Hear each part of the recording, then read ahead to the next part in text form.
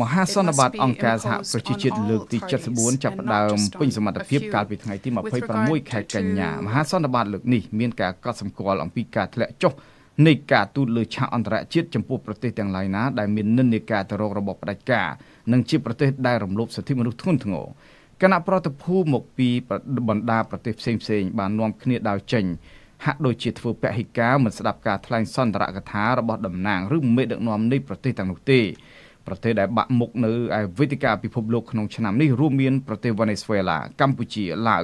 កូរ៉េខាងជើង និងបណ្ដាប្រទេសមួយចំនួននៅទ្វីបអាហ្វ្រិកប៉ុន្តែប្រទេសវេណេស៊ុយអេឡានិងកម្ពុជាដែលមានរបបនយោបាយប្រហាក់ប្រហែលគ្នាហើយមេដឹកនាំនៃប្រទេសនេះត្រូវបានគេចោទថាដឹកនាំប្រទេសទៅរករបបផ្ដាច់ការនោះនៅពេលដែលតំណាងរបស់ប្រទេសទាំងពីរឡើងថ្លែងសន្ទរកថាគណៈប្រតិភូនៃប្រទេសផ្សេងផ្សេងទៀតបានងើបដើរចេញពីវេទិកានេះតែម្ដងគឺធ្វើឲ្យវេទិកានេះ ស្ថិតនៅក្នុងភាពឯកានិងស្ងប់ស្ងាត់អនុប្រធានាធិបតីនៃប្រទេសវេណេស៊ុយអេឡាបានព្យាយាមទាញស្ថានភាពនៃមហាសន្និបាតនេះ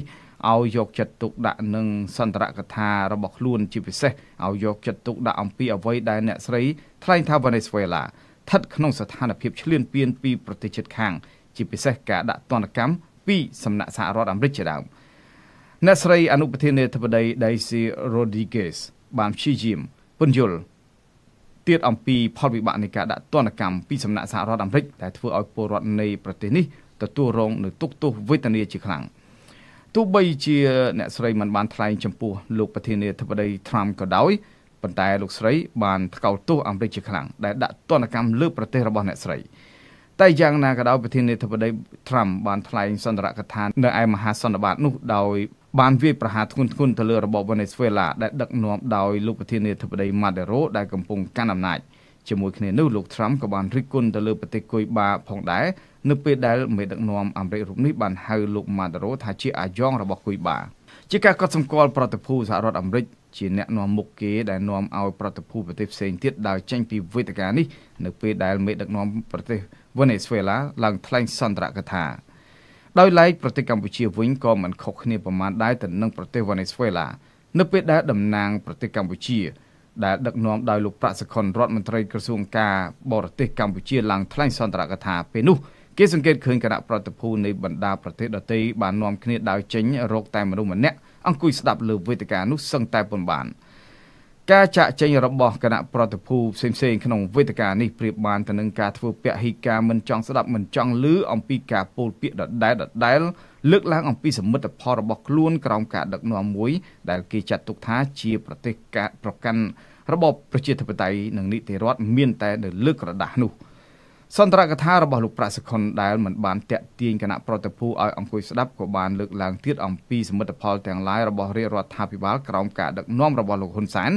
ដែលធ្វើឲ្យពលរដ្ឋកម្ពុជាស្គាល់នៅរបបសេដ្ឋកិច្ចមួយដែលរីកលូតលាស់មិនតែប៉ុណ្ណោះលោកប្រាក់សខុនក៏បានថ្លែងអំពីគោលការណ៍ប្រជាធិបតេយ្យនិងអធិបតេយ្យភាពរបស់កម្ពុជាផងដែរ ស្របពេលនេះលោកប្រាក់សុខុន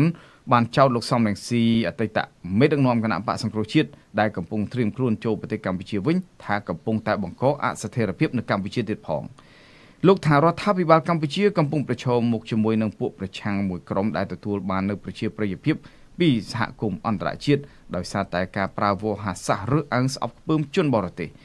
នៅពេលដែលឡើងថ្លែងវាយប្រហារទៅលើលោកសំរងស៊ីលោកប្រាក់សុខុនក៏មិនភ្លេចអំពីការរិះគន់ទៅលើប្រទេសមួយចំនួនផងដែរ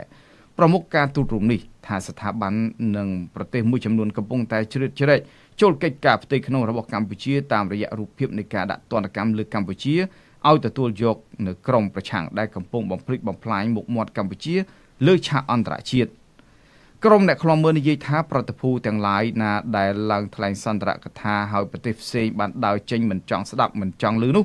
គឺអាចមកពីប្រទេសទាំងនោះត្រូវបានថ្កោលទោសដោយក្រុមប្រឹក្សាសិទ្ធិមនុស្ស របស់អង្គការសហប្រជាជាតិ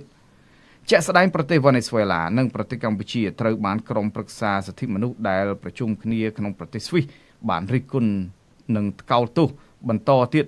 អំពីការដែលប្រទេសទាំងពីរនេះនៅតែបន្តរំលោភសិទ្ធិមនុស្សបំបិតមាត់ក្រុមបកប្រឆាំងដោយយកប្រព័ន្ធតុលាការជាឧបករណ៍នៃការគៀបសង្កត់សេរីភាពរបស់ពលរដ្ឋដែលមាននិន្នាការមិនស្របនឹងបកកណ្ដាលអំណាចរបស់ខ្លួន។